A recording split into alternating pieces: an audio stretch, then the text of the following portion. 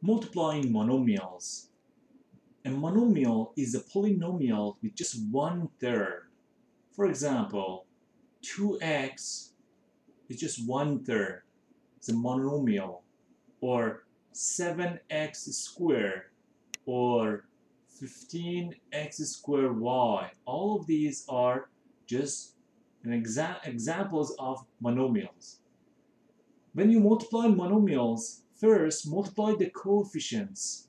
The coefficient is a number placed before and multiplying the variable. For example, the, uh, the coefficient here is 15. That one is 2. This one is 7. And remember that we need to use multiplication property of exponents when you multiply when you multiply monomials.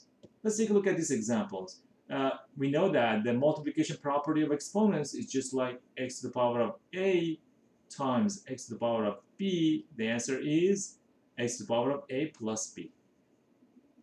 Now let's take a look at these examples. Here we have 5u to the power of a times negative 3u to the power of 3. So first, multiply the coefficients. A, 5 times negative 3 is negative 15.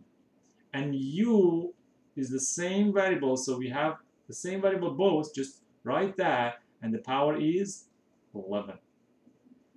4 times 7 is 28.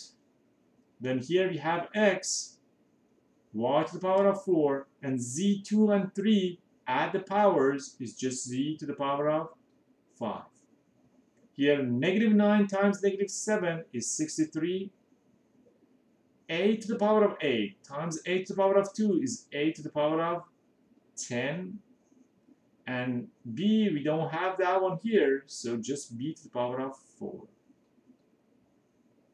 3 times 1 is just 3.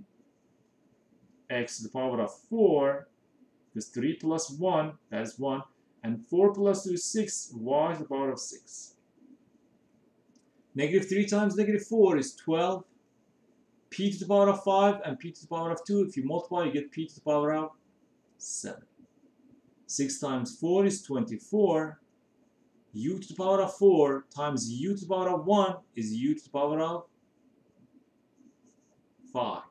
And then t to the power of 1 and 3 is 4. So that one is u to the power of 5 and t to the power of 4. Negative 3 times 5, negative 15 a squared times a to the power of 4 is a to the power of 6. And b cubed times b is b to the power of 4. Here 4 times negative 3, negative 12. p to the power of 4 times p to the power of 1 is just p to the power of 5. And then q to the power of 2 plus 3 is 5.